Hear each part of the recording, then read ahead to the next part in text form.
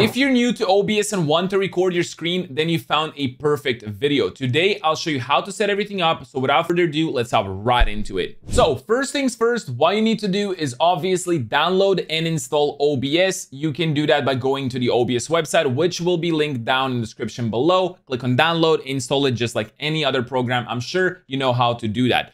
Once you have your OBS opened up right over here. It might look a little bit different because my settings are changed, but you will get the gist of it. So what you need to do is go to settings first and then adjust some of the settings so the footage looks all right.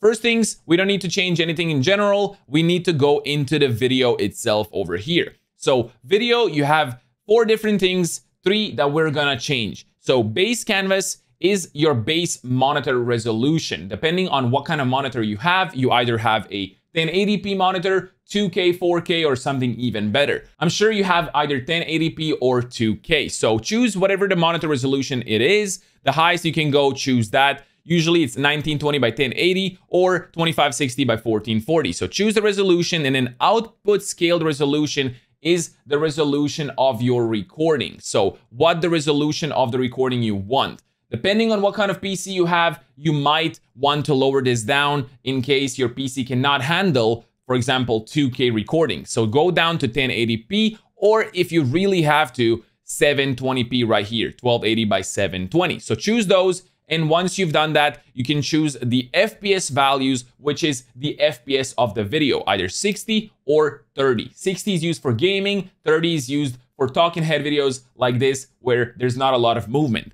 So choose either 60 or 30 and that's it. Now we want to go to the output over here and we want to go from the output mode. Uh, it's gonna be simple, set it to advanced and then go to recording over here because we will be recording. Uh, once you have everything set up over here, you will need to change just a few things. So if you want to go for a simple mode where it's, you know, nothing too complicated, you can do that. But I highly recommend advanced. That way we can adjust some things and maybe fix some of the issues you might have in the simple mode. So we want to set up our recording path over here, choose wherever you want to record your videos to, and then recording format, it should always be MKV. If you use MP4, if there is a power outage or something happens to your PC, your whole recording will be corrupted. If you use MKV, it will stop at that point and it will save everything that happened before. So you will not lose any of your footage. You should always use MKV and never MP4. We will be converting this to MP4 for editing later. You don't have to worry about that, but make sure to record in MKV. For the video encoder, we want to use either NVIDIA NVENC H.264 if you have an NVIDIA GPU, the newer ones. If you don't have that, you can go for a uh, QuickSync H.264, which is just as good, or HEVC. And if you don't have any of those, you can use X264, which is a CPU encoder. That way, if you're not really gaming too much, you can use that, but I would not recommend it as it requires a pretty beefy CPU or your processor in order for you to actually run the recording without any lag. So once you've chosen those, you don't need to change anything over here. Uh, bitrate, you do want to use around 10,000 bitrate, either CBR or CQP. So if you're using CQP, CQP is usually used for recording. Uh, the lower the number, the better the quality is. The higher the number, the worse quality, but the lower file size you'll have. So you can use CQP around 20 and then go above to, you know, either like stop the lag or lower if you want your footage to look better. Uh, or you can just use, you know, like I said, CBR around 10,000 bitrate is fine. And then you can increase it to get better quality or decrease it to get worse quality.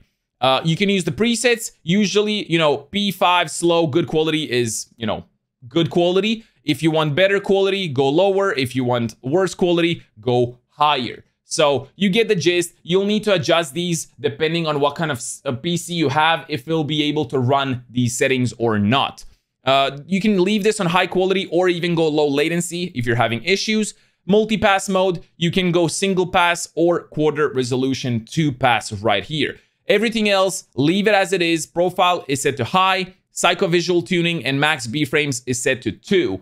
That's it. So now you have the settings set up. Your quality should be looking just fine. Everything is gonna be good. You can go into audio and then choose your desktop audio, which is your speakers or your headphones.